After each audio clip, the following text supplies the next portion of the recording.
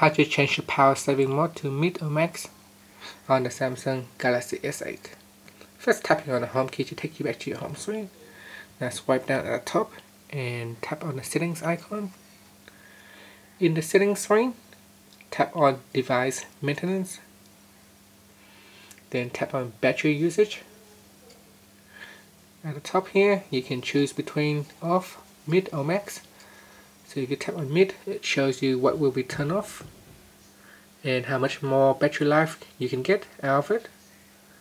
If you tap on max, it will show you what will be turned off and how much more battery life you can get out of it if you are using the max mode.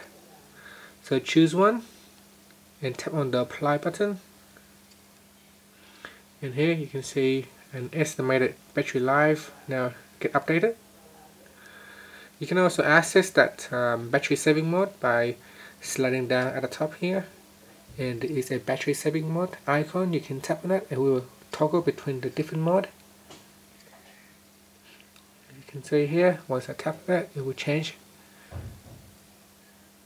So now it is turned off. So we can tap on that to turn it on. And let's see if we tap on the customize button you can also further choose um, what you want to turn on or off in here.